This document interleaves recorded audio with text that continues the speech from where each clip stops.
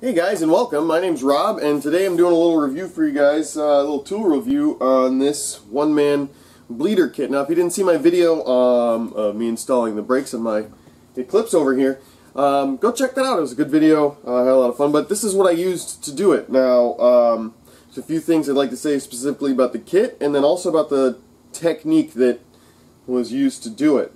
Um, so here we go.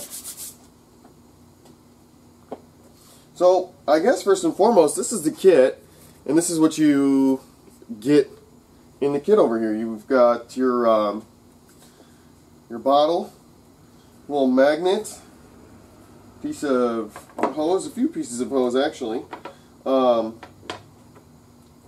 this little guy, and then two of these black um, little pieces here.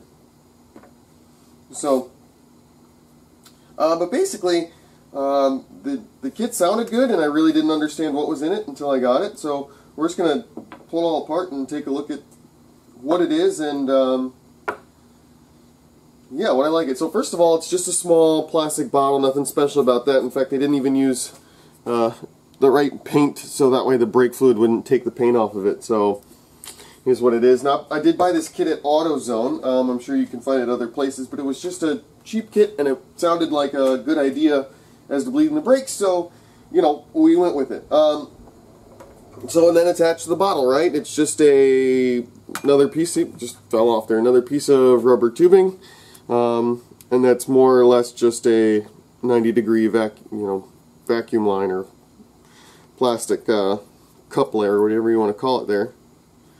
And that's, that's that. So, um, and then these pieces here which go into the end of the bleeder screw. Um, so the tube goes onto this end and then that literally goes into the opening of the bleeder screw.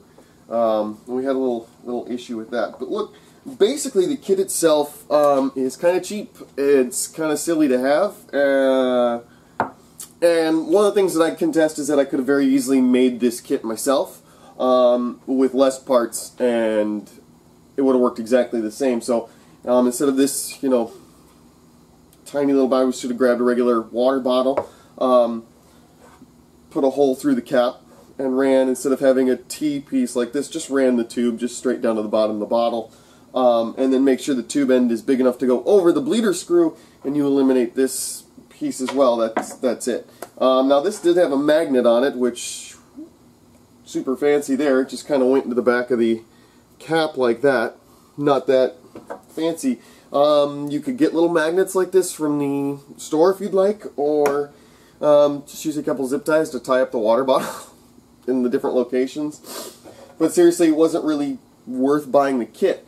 Um, however, the technique that this uses, where um, the bleeder is open on the caliper that you're using, this bottle um, is magnetized just like that to your fender well, or I did it on the strut and on some brackets and small stuff like that that was hanging around there. But it just had to be above, and then you're slowly pushing the pedal from the from the driver's seat with the bleeder fully open. There's no pumping it up and then opening it and letting it shoot. None of that. Um, and it did. It would let the air bubbles, you know, rise up to the top, go into the bottle here. Um, the bottle's a little small, so in some of the places where I flushed out fluid, I had to empty it two or three times, which was kind of annoying. I would have used a bigger water bottle had I done the kit myself. Um, but then, yeah, I just closed it off and, and just went around, did the whole car um, using this, and that was really, um, really, really good way of bleeding brake system. I'd never done it before, never, never thought of doing it that way before, and the pedal feels great. Um, I love the result that I got from it, so there's that. But the kit itself, you, I could have made this with maybe a, a dollar or two worth of, of little tubing and leftovers laying around the house, you know what I mean? Um, now the tubing is supposed to come in two shorter pieces, like this, and one longer piece. So I cut this down because I thought the kit could be used to bleed the master cylinder, and when I found out I couldn't, I just cut the long hose in half so I could use it for uh, bleeding out the brake master cylinder. So that was that was kind of silly, but because um, I I didn't. That's why that's there.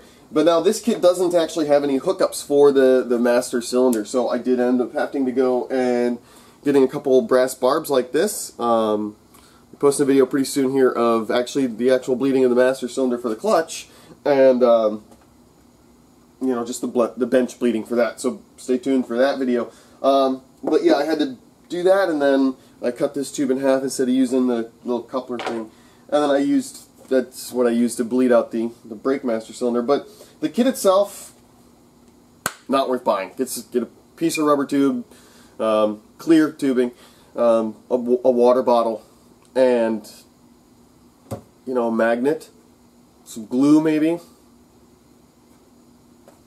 Pretty simple kit. The, the, the kit was pointless to buy. Oh, and the one thing about this kit that you would avoid had I made it myself um, is this little plastic piece here. Now this is, they, came with two, and I was wondering why, because I broke one off inside the bleeder, and that little piece of plastic, just that tiny little nub there in the end was stuck inside the bleeder, and I ended up having to use a small drill bit to drill the plastic out. And that was lovely. Um, anyway, so yeah, that's that's really the one-man bleeder kit. I hope you guys enjoyed the video, and stay tuned for more like it.